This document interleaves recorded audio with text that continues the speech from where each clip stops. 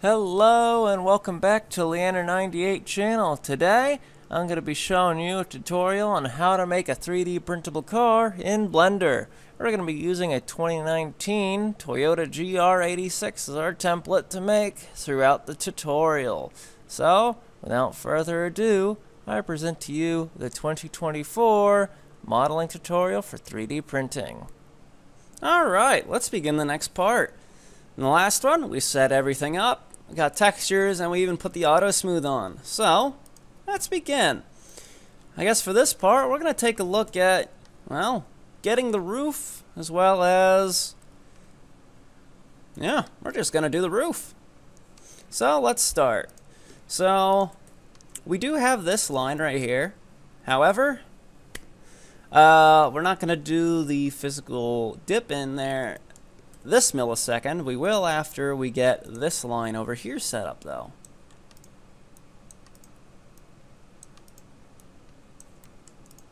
So we're going to extrude over and then just move the vertices into place. Now we want to be rather simplistic with how we place our vertices yet. So we will probably look a little low poly. Which any which anyway might be a little better for when it comes to loop cutting. Alright, so we're gonna inch that up a hair. Let's see. Move that up. That mm, it's fine. Okay. Alright, so now with that in mind, we're going to select these lines here. We're going to press V. Actually, you know what? Oh, come on. There had to be a... One second. Okay, that's better. We got what we wanted. Alright, so, with those lines placed, we're going to press the V key, and that is going to rip the vertices. We're then going to scale in the X direction. And we'll bring it down a little. So what we're going to do is we're going to select this whole line. Oh, I remember what I wanted to set up. Alright, so I'm going to press some things, and you're not going to know what I did.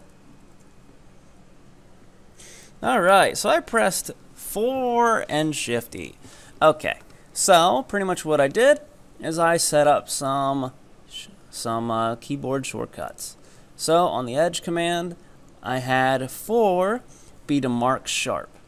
And then in the preferences, oh boy, this is good. Oh man, I don't remember where I had this one. Oh wow.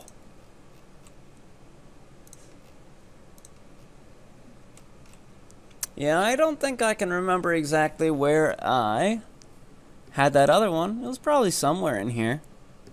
Let's see. 3D view.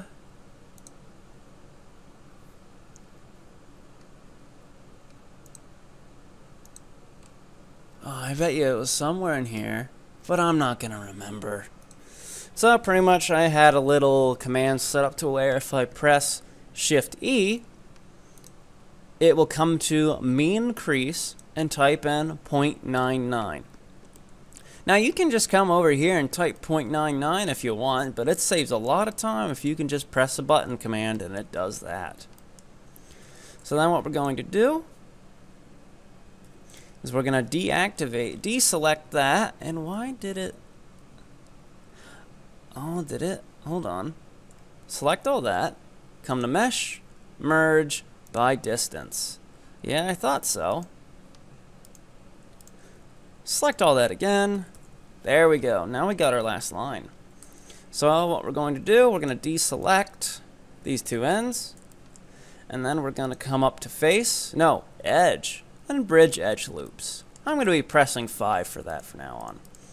And then fill these in, pressing F. And there we go.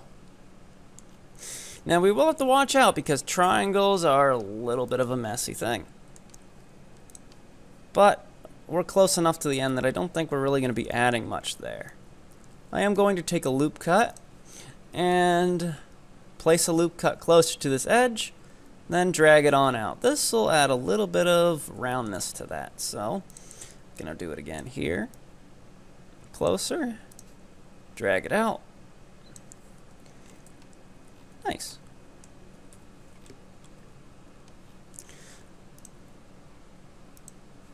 I guess I'll have to start playing with subdivision here because I guess a lot of people tend to use subdivision when they're in their modeling stage. Now the reason I don't do this is because I work on a laptop. It's not the strongest thing in the world. So I like to have that off when I'm modeling. But we'll have it on for now. Hmm, that's causing a little bit of a fuss, ain't it? Well, how about we go to weighted normals? We're going to add this modifier. Let's see. Where do you like being placed?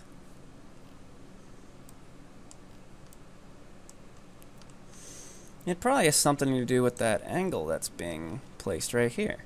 What if we make that 50? That didn't do a darn thing. Place that back to 30.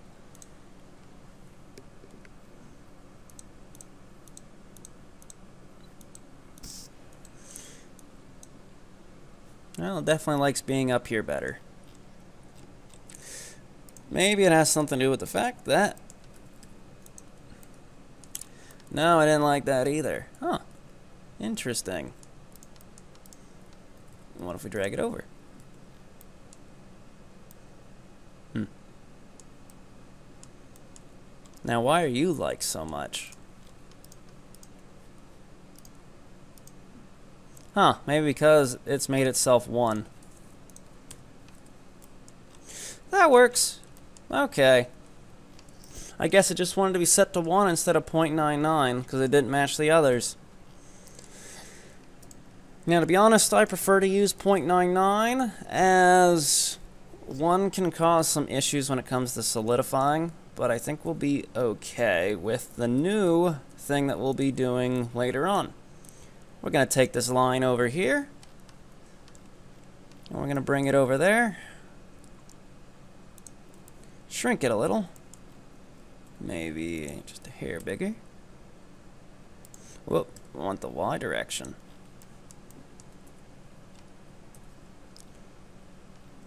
Okay, so we're going to then take this line and then come out to this line here.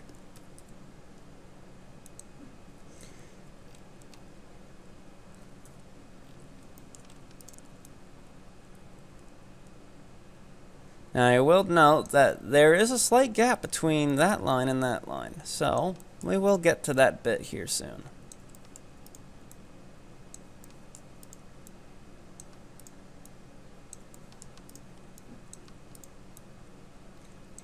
We're even gonna double G. That one better stay. And then we'll bring down to where we need that line to go. So right there is about good. It even helps when it comes to making sure that your mesh is okay by changing up the view a little, even if you're not looking at a line, and just dragging things in place that it actually looks genuine. That's good. Okay. So this bit will come down this way. Then we'll double G. drop that down. But as you can see, we need that to come over there. But we also need to place a line here. So we're going to drag that there. Then we're going to scoot this over. So that's close enough there. However, I don't like the fact that I now have so many heavy lines right there. It's a tiny spot for that. So, we're going to delete this vertice. We're going to select that, subdivide that, bring this up, make sure it's still in a good location there. Okay, so now we need to make a 4. So that's a 4, and that's a 4. Want to scoot this over this way. Sweet. Yeah, other than purposeful triangles like this, generally you want to try and keep fours. If you can stay away from n-gons, that's good. So we're going to take this and we're going to bump it up a little.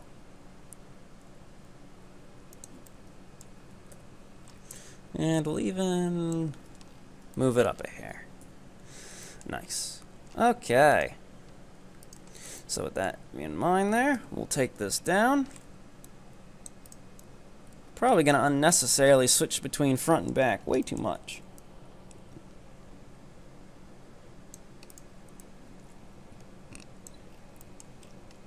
Woo! We're forgetting something, aren't we? Now, you'll definitely have to make sure that you remember which one that you're grabbing here. Because this one was up above here, and you could have sworn that it was the inside. But that's the inside right there.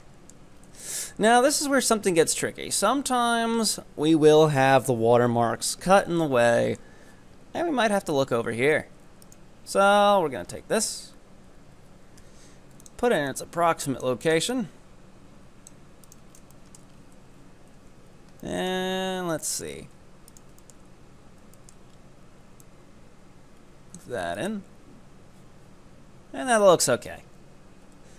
It'll round out then. Alright, so we're going to make sure that we are down. Down. And then we're just going to swing this whole thing over. Up. And up. Now, yeah, that is incredibly blocky. And yes, the subdivision does smooth that out, but not in the place that I want it. So that means we need to add more loop cuts. So we're going to play the game of twos and then drag that. We're going to be going over quite a distance actually. This one, we'll double G this back into place. That's a lot better.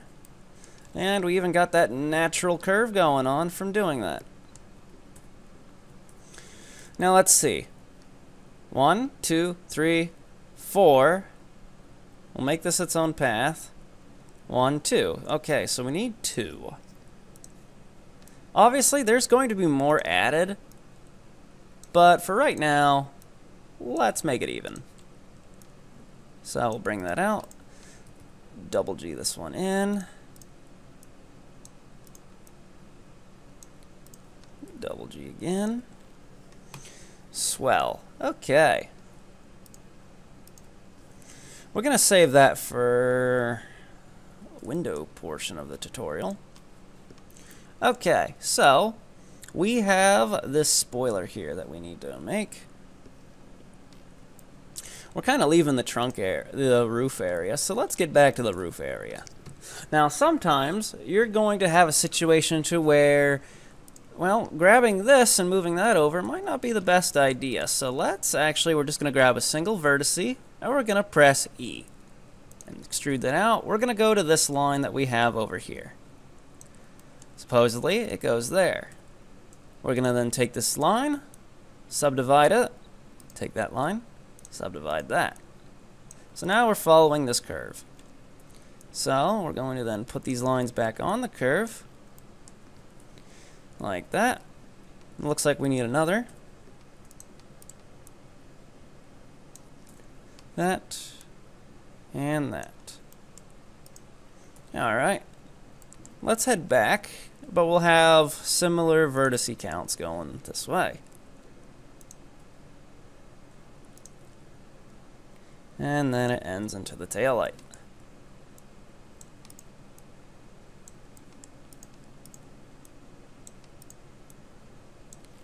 Sweet. And then looks like we'll have that come down. Bring this over. We'll add one for the curve. Shift select. And there we go. Okay, let's bring these into place.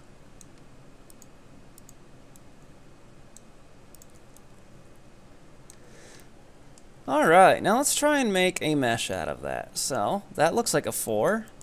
We're going to have to deal with a triangle at the moment. There's a 4. There's a 4. Ah, now we have a 5. So we're going to take this. Going to make a triangle of 4. Boast this out. And now we have 4s. Now sometimes you'll get this. And that is common when it comes to extruding single vertices, as it will get ugly doing that. So, what we do in this case, select all your mesh, come to mesh, normals, recalculate outside. And then because it also did that, we have sharp edges. So, our sharp faces. So we're going to come to shading, smooth faces. And now we're nice and smooth. Sweet. Okay. However, we are going to do this again. And then reconnect ourselves with that. Alright, so we're end up going to do extruding faces. Make that in line with that.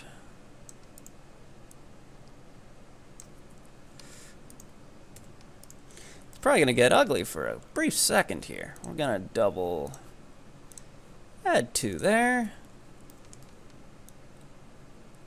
Swing that into place. Probably means it needs to drop. Alright, and then we're going to double G them into place. Shift select that. Let's see. Hmm, we're probably going to end up having two come through here, so we'll take two.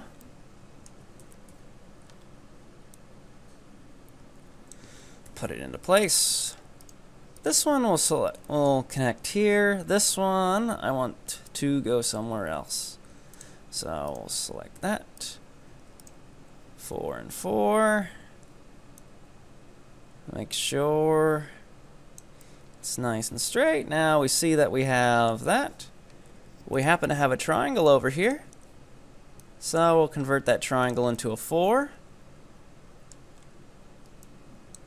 Give it a little bump. Double G this into place. Select all mesh, mesh, smooth, recalculate. Nice. Alright, so then we're going to take our outside edge, drop it down, scale it down, rotate it. We're even going to scale it up in the Z direction a little.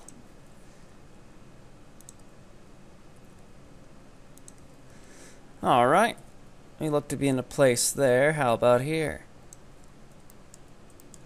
Rotate. And bring that in. Do what we did earlier. Make sure that this looks all conical. Looks pretty good. Alright, now we gotta do twos.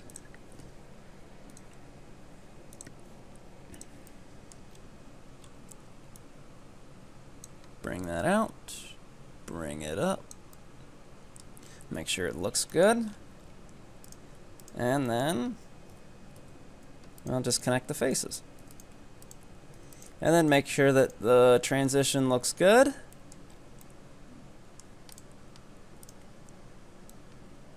Bump that out a little. We'll take this and push it back in.